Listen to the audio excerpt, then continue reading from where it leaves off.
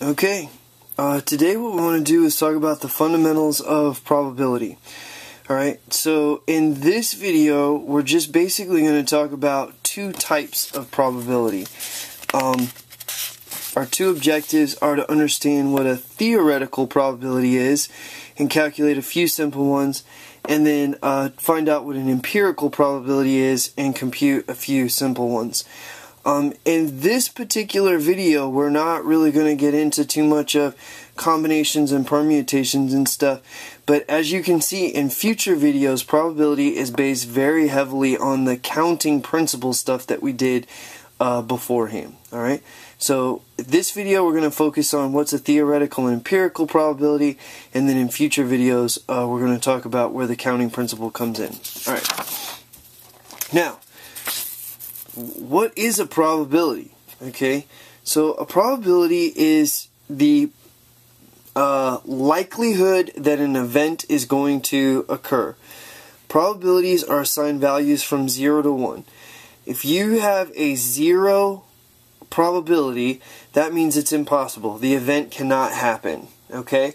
So, um, I jump up and do not come down. The probability of me jumping up and not coming down is zero, you know, unless I jump onto something, right? Okay. Um, all the way up to one, which is certain. If I jump up, I will come down. The probability of that is one. Every time I jump up, every time anybody jumps up, they come back down. So that's a one. Now, there's all of these different possibilities in between, okay? So, the more likely something is to happen, the closer to 1 it is the more unlikely it is to happen, the closer to zero it is. Alright? Now, our first uh, type of probability is the theoretical probability. And the theoretical probability is something that we can actually figure out what the probability is. There's a fixed sample space, there's a certain randomization or weighting to that sample space, and so uh, we know basically what's going to happen. All right, dice rolls are perfect examples of a theoretical possibility. The probability of a 1 coming up on a six sided dice is a theoretical thing that we can verify with experiments. Uh, heads flipped on a two sided coin. Uh, a king pulled out of a deck of 52 cards uh, the 36 showing up on the roulette wheel when I spin it. All of these things are theoretical probabilities because they um, are all all of the events are equally likely to happen and the number of likely events is completely known. So we run an experiment, that's any occurrence for which the outcome is uncertain, roll the dice, pull a coin, roll the ball in the roulette wheel, all of those types of things. The sample space is the set of all possible outcomes from an experiment denoted by S. So this is what makes the theoretical possibility theoretical probability partially possible is that we actually know what the sample space is. Um, six sides on a car, 52 cards in a deck, uh, 38 slots on a roulette wheel, all of those kinds of things. An event is denoted E is any subset of the sample space, right? So this is anything that we could define. An even number, a spade, um, a king, uh, a red slot on a roulette wheel. Any of those things could be events. Um, of the theoretical possible of all possible outcomes is one. Okay, so everything that's possible is going to sum up to a probability of 1 because that's must happen.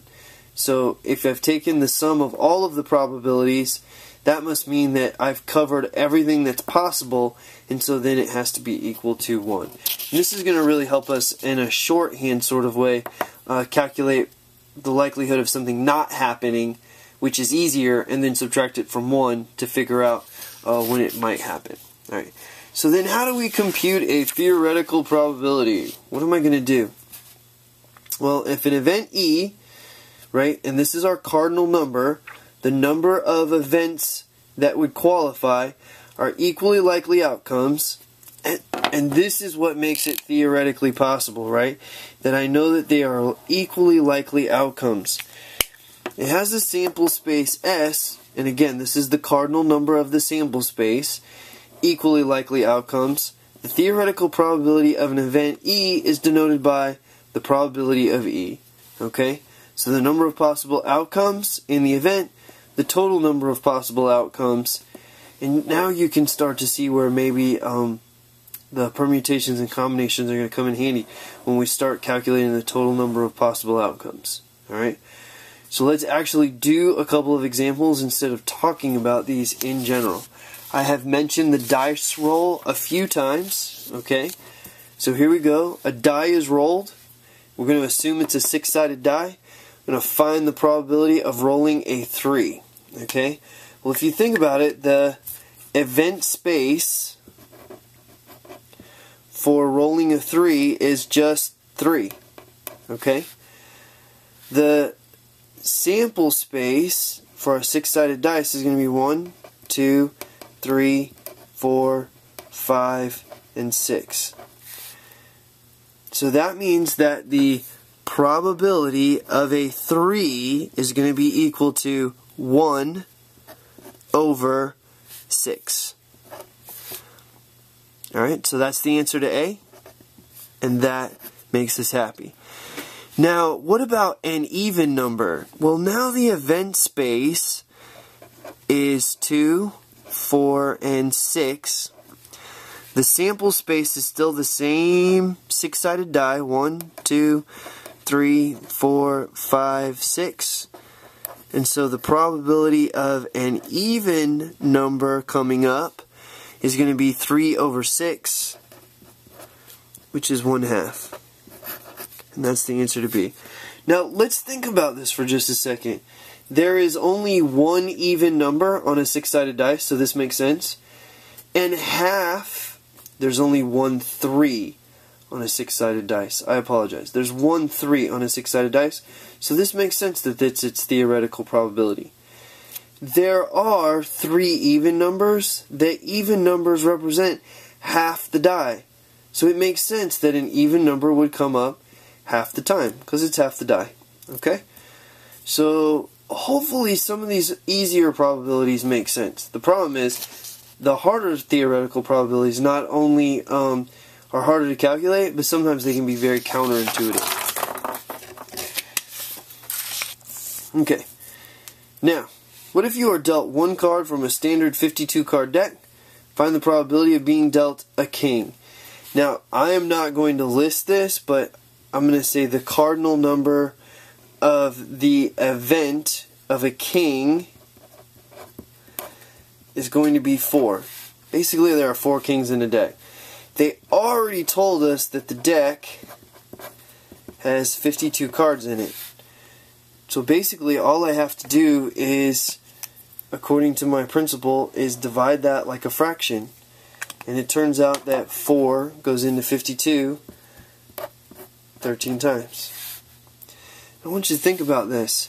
There are 13 cards in a suit, and one of them is a king. So basically, this is one out of every 13 cards is a king because there's one king in every suit. And so again, this makes sense, and that makes me happy. Now, what about a heart? Alright, well, the number of hearts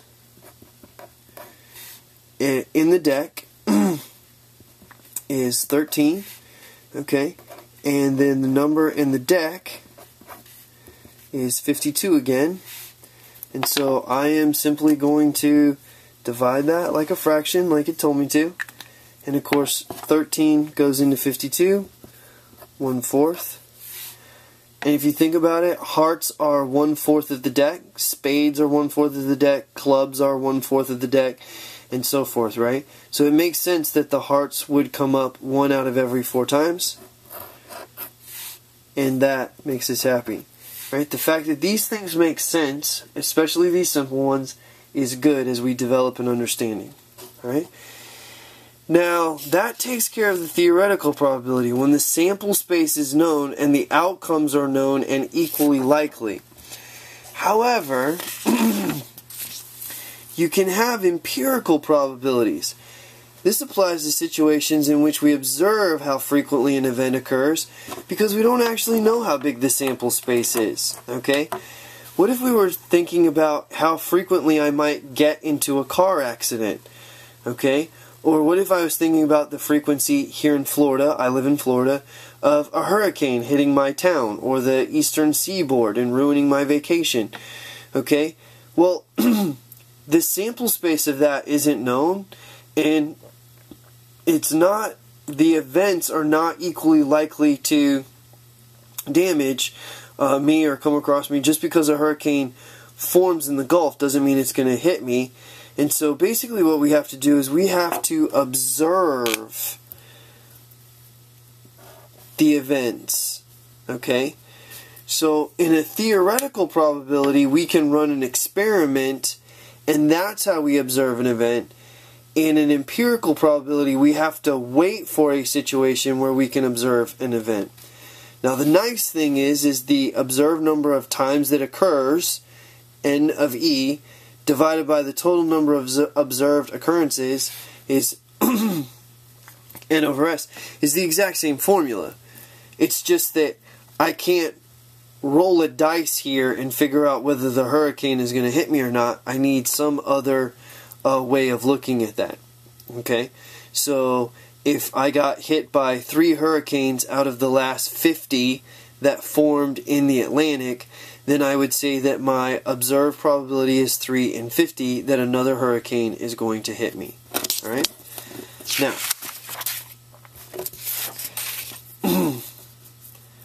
I'm a happily married guy, but uh, um, some of you that are watching this video may not be well, not happily married, but you may be single, right? And and so we want to calculate an empirical probability. So if one person is randomly selected from the population described above, find the probability that that person is a female. All right. So you go out to the club. What's the probability that you're going to run into a female? Well, if we look in the observed population, females, okay, represent 121.3 million out of a total of 235.8 million people. So the number of females observed over the total number of people observed in the um, country, I think this was, you know, the United States in, in 1990 Census Bureau data, okay? So if you look at that and you plug that into your calculator, you get a 0.5144 probability. So a little better than half that when you go out you're going to bump into a female. Okay? Because females represent a higher percentage of the population. Now, if you wanted to actually find one that was not married, okay, what you would do is you would take the never married widowed, and divorced, okay, and you would add those up 31.7 plus 11.2 plus 13.2. So those are all the single ladies out of the 235.8. And that'll tell you the likelihood of running into a single lady uh, when you go out on a Friday night, which happens to be when I am taping this. And that I will leave up to you to figure out. Okay? now this concludes the, uh, the differences between a theoretical and an empirical probability.